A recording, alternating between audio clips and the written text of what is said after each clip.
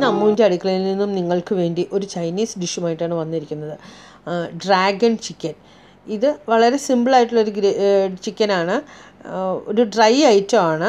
ഇതിന് വേണ്ട ഇൻഗ്രീഡിയൻസ് ഏതൊക്കെയാണെന്ന് നോക്കാം. അഞ്ഞൂറ് ഗ്രാം ചിക്കൻ മാരിനേറ്റ് ചെയ്യാൻ വേണ്ടിയിട്ട് ചില്ലി പൗഡർ ഒന്നര tablespoon ginger garlic paste രണ്ട് ടേബിൾ സ്പൂൺ പെപ്പർ പൗഡർ ഒരു ടീസ്പൂൺ മൈദ രണ്ട് ടേബിൾ സ്പൂൺ കോൺഫ്ലവർ ഒന്നര ടേബിൾ സ്പൂൺ എഗ്ഗ് ഒരെണ്ണം ഉപ്പ് ആവശ്യത്തിന്. ഇത് കൂടാതെ ഗ്രേവിക്ക് വേണ്ടുന്ന കുറച്ച് ഇൻഗ്രീഡിയൻസ് കൂടെ ഉണ്ട് chopped garlic ginger green chilli spring onion പിന്നെ സോസസ് ക്യാപ്സിക്കം തക്കാളി സവോള എല്ലാം ഉണ്ട്. നമുക്ക് ആദ്യം ചിക്കൻ മാരിനേറ്റ് ചെയ്ത് വെക്കാം.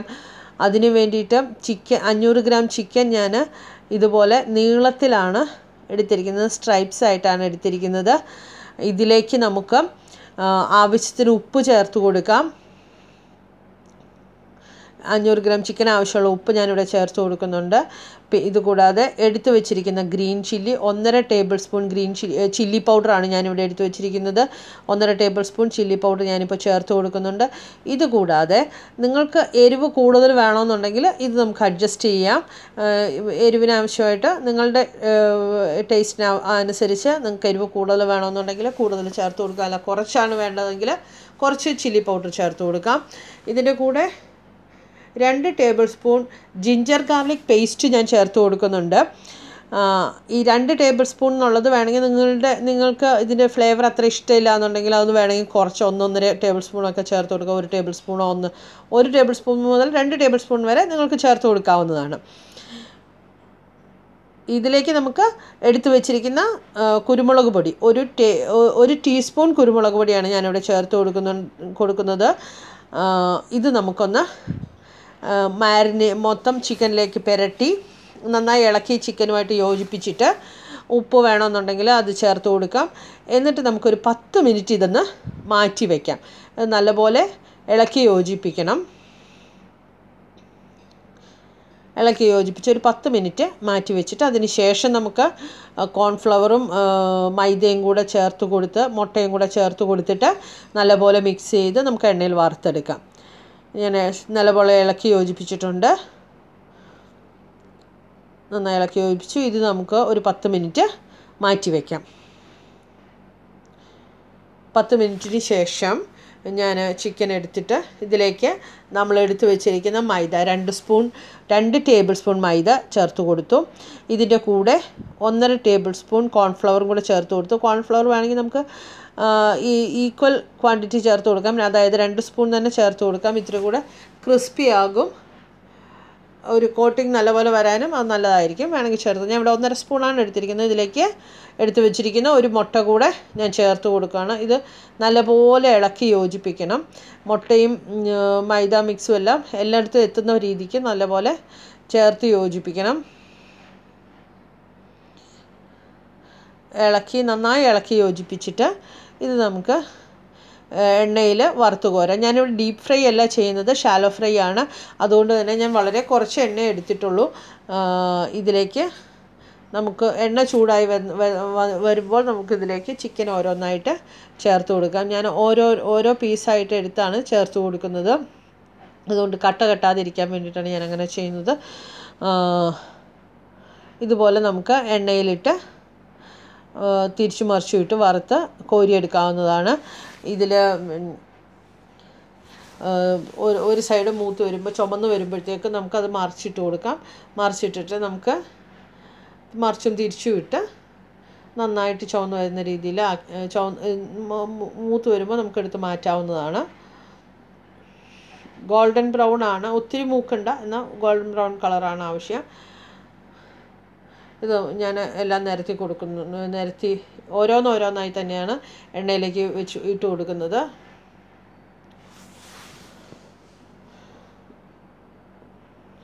ഞാനിതിപ്പം ഒരു ട്രിപ്പിനുള്ളത് എടുത്ത് ഇട്ടിട്ടുണ്ട്. ബാക്കി നമുക്ക് ഇതുപോലെ തന്നെ ബാക്കിയും നമുക്ക് വറുത്തെടുക്കേണ്ടത് ആവശ്യമുണ്ട്. ഇപ്പോൾ ചിക്കൻ ഒരു സൈഡ് ചുമന്ന് വന്നിട്ടുണ്ട്. അത് നമുക്ക് മറിച്ചിട്ട് എല്ലാം മറിച്ചിട്ട് കൊടുക്കാം. എന്നിട്ട് അടുത്ത സൈഡും കൂടെ അതുപോലെ വരുമ്പോൾ നമുക്ക് എണ്ണയിൽ നിന്ന് കോരി മാറ്റാവുന്നതാണ്. ഇത് നമുക്ക് എല്ലാ നമ്മൾ എടുത്ത് വെച്ചിരിക്കുന്ന ചിക്കൻ മുഴുവൻ ഇതുപോലെ ചെയ്തെടുക്കാം. ഇവിടെ ചിക്കൻ എല്ലാം വറുത്ത് റെഡി ആയിട്ടുണ്ട്. ഇത് അകം നല്ല സോഫ്റ്റും ഔട്ട്സൈഡ് ചെറുതായിട്ട് ചെറുതായിട്ട് ക്രിസ്പിയുമായിരിക്കും. ഇനി നമുക്ക് പാനിൽ ചിക്കൻ വറുത്ത എണ്ണ തന്നെ അതിൽ നിന്ന് കുറച്ച് എടുത്ത് മാറ്റിയിട്ട് ബാക്കിയുള്ള എണ്ണ ഒരു മൂന്നോ നാലോ ടേബിൾ സ്പൂൺ എണ്ണയാണ് ഞാനിവിടെ എടുത്തിട്ടുള്ളൂ. ഇതിലേക്ക് നമുക്ക് ഗ്രേവിക്ക് ആവശ്യമായ ഇൻഗ്രീഡിയൻസ് ചേർത്ത് കൊടുക്കാം. ഇതിലേക്ക് ഞാൻ ആദ്യം എടുത്ത് വെച്ചിരിക്കുന്ന ചെറുതായി അരിഞ്ഞു വെച്ചിരിക്കുന്ന ഗാർലിക്ക് ചേർത്ത് കൊടുത്തു. വെളുത്തുള്ളി ഒരു സ്പൂൺ വെളുത്തുള്ളിയാണ് ഒരു ടേബിൾ സ്പൂൺ വെളുത്തുള്ളിയാണ് നമ്മൾ ചേർത്ത് കൊടുക്കുന്നത്.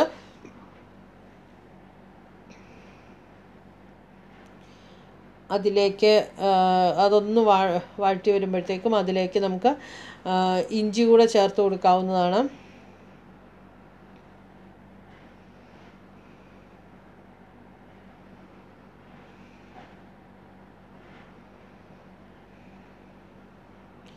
ഇഞ്ചിയും വഴറ്റി വന്നു കഴിയുമ്പോൾ ഇത് ഇതിലേക്ക് നമ്മൾ എടുത്തു വെച്ചിരിക്കുന്ന ചില്ലി ഫ്ലേക്സ്. ചില്ലി ഫ്ലേക്സ് എന്ന് പറഞ്ഞാൽ നമ്മൾ വത്തലമുളകൊന്ന് ചതച്ചെടുത്തതാണ്. അത് ഞാൻ ഒരു ടേ ടീസ്പൂണേ ഇവിടെ എടുത്തിട്ടുള്ളൂ. നിങ്ങൾക്കിത് വേണമെന്നുണ്ടെങ്കിൽ ഒരു ടേബിൾ സ്പൂൺ വരെ ഇത് ചേർത്ത് കൊടുക്കാവുന്നതാണ്. കുഴപ്പമില്ല. എരിവിനനുസരിച്ച് ഗ്രേവിക്ക് വേണ്ടുന്ന എരിവിനാണ് നമ്മൾ ചില്ലി ഫ്ലേക്സ് ചേർത്ത് കൊടുക്കുന്നത്. ഞാൻ കുറച്ചേ ചേർത്തിട്ടുള്ളൂ. അതിലേക്ക് എടുത്തു വെച്ചിരിക്കുന്ന ഗ്രീൻ ചില്ലി. ഞാനൊരു രണ്ട് ഗ്രീൻ ചില്ലി അരിഞ്ഞതാണ് ചെറുതായി അരിഞ്ഞതാണ് ചേർത്ത് കൊടുക്കുന്നത്. അതും എരിവിനനുസരിച്ച് നമുക്ക് അഡ്ജസ്റ്റ് ചെയ്യാം. കാരണം നമ്മൾ വത്തലമുളക് ചതച്ചത് ചേർത്തിട്ടുണ്ട്. ഗ്രീൻ ചില്ലി ചേർത്തിട്ടുണ്ട്. അതുകൂടാതെ നമ്മളിപ്പം ഒരു സ്പൂൺ ചില്ലി പൗഡറും കൂടെ ചേർത്തിട്ടുണ്ട്. നമുക്കിനി പെപ്പർ പൗഡർ ആവശ്യമുണ്ടെങ്കിൽ കുരുമുളക് പൊടി കൂടെ ചേർത്ത് കൊടുക്കാവുന്നതാണ്. അപ്പോൾ ഇതെല്ലാം വരുന്നതുകൊണ്ട് നിങ്ങൾക്ക് എരിവിന്റെ നിങ്ങൾക്ക് എത്രമാത്രം എരിവ് വേണോ അതനുസരിച്ച് വേണം ഈ വത്തലമുളകും ഗ്രീൻ ചില്ലിയും ഒക്കെ ചേർത്ത് കൊടുക്കാനായിട്ട്. ചില്ലി പൗഡറോ അത് ചില്ലി പൗഡറിന്റെ ഒരു ഫ്ലേവറാണ് കൂടുതൽ ഇഷ്ടമെങ്കിൽ നിങ്ങൾക്ക് അത് ചേർത്ത് കൊടുക്കാം. ഇനി ഇതിലേക്ക് നീളത്തിൽ അരിഞ്ഞു വെച്ചിരിക്കുന്ന രണ്ട് സവാള. രണ്ട് മീഡിയം സൈസ് സവാളയാണ് ഞാൻ എടുത്തിരിക്കുന്നത്. ഞാൻ നീളത്തിൽ അരിഞ്ഞാണ് എടുത്തിരിക്കുന്നത്. ഇച്ചിരി ഒത്തിരി കനം കുറച്ചല്ല എടുത്തിരിക്കുന്നത്. കുറച്ച് കനത്തിൽ തന്നെയാണ് അരിഞ്ഞിരിക്കുന്നത്. ബിക്കോസ് ഇത് നമുക്ക് ഇത് അധികം വെന്ത് നമ്മൾ അധികം നമ്മൾ വഴറ്റിയെടുക്കുന്നില്ല നമ്മൾ ജസ്റ്റ് ഒന്ന് കടി അതിന് കടി കിട്ടുന്ന രീതിയാണ് നമുക്ക് വേണ്ടത്. അതാണ് അതിന്റെ ഒരു ഫ്ലേവർ വരുന്നത്. മാത്രമല്ല ചൈനീസ് വിഭവം ആയതുകൊണ്ട് ഇത് വളരെ തീ കൂട്ടിയിട്ട് പെട്ടെന്നാണ് നമ്മളിത് ഉണ്ടാക്കിയെടുക്കുന്നത്. വീഡിയോ എടുക്കുന്നതുകൊണ്ടാണ് ഇത്തിരി സ്ലോ ആയിട്ട് കാണിക്കുന്നത്. പക്ഷേ ഇത് നമ്മൾ വളരെ ഫാസ്റ്റായിട്ട് ചെയ്തെടുക്കാവുന്നതാണ്. അധികം ഒന്നും വഴട്ടേണ്ട കാര്യമില്ല. സവോളയ്ക്ക് ആവശ്യമുള്ള ഉപ്പും കൂടെ ഞാനിവിടെ ചേർത്ത് കൊടുത്തിട്ട് സവോളയ്ക്ക് മാത്രമല്ല ക്യാപ്സിക്കം ഒക്കെ നമ്മൾ ചേർക്കുന്നുണ്ട്.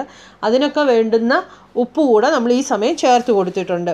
ഇനി നമുക്ക് വേണ്ടുന്ന സോസുകളായി ചേർത്ത് കൊടുക്കാം. ചി റെഡ് ചില്ലി സോസാണ് ഞാൻ ഇവിടെ എടുത്തിരിക്കുന്നത്. അത് ഞാൻ ഒരു സ്പൂൺ ചേർത്ത് കൊടുക്കുന്നുണ്ട്. നിങ്ങൾക്ക് റെഡ് ചില്ലി സോസ് കിട്ടിയില്ല എന്നുണ്ടെങ്കിലും കുഴപ്പമില്ല. ഗ്രീൻ ചില്ലി സോസ് കിട്ടും.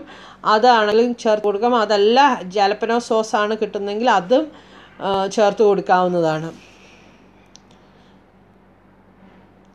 ഇത് കൂടാതെ ഞാൻ രണ്ട് സ്പൂൺ സോയാ സോസും കൂടെ ചേർത്ത് കൊടുത്തിട്ടുണ്ട്.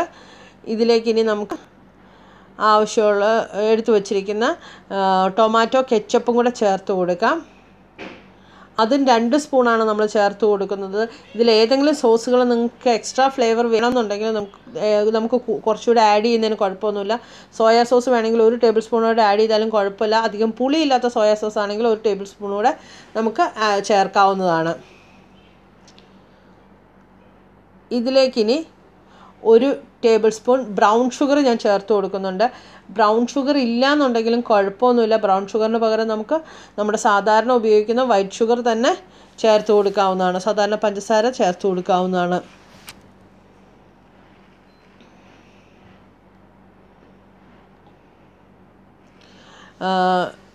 അത് നമുക്കൊരു കുറച്ച് നമ്മൾ എടുത്തു വച്ചിരിക്കുന്ന വെള്ളം കൂടെ ഇതിനകത്തേക്ക് ചേർത്തിട്ട് ഒന്ന് മിക്സ് ചെയ്തെടുക്കാം. അതിന് ശേഷം നമുക്ക് ക്യാപ്സിക്കം ഇത് ഒരു ക്യാപ്സിക്കത്തിന്റെ ക്യാപ്സിക്കം അരിഞ്ഞു വെച്ചതാണ്. അത് ഞാനിവിടെ ചേർത്ത് കൊടുക്കുന്നുണ്ട്.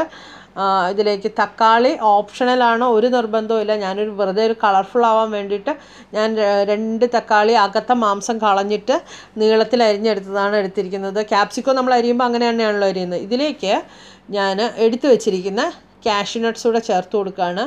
നമ്മൾ ഒരു അര കപ്പ് കാഷ്യൂ നട്ട്സാണ് എടുത്തു വെച്ചിരിക്കുന്നത്. അതേപോലെ തന്നെ സ്പ്രിംഗ് ഓണിയനും ചേർത്ത് കൊടുക്കുന്നുണ്ട്.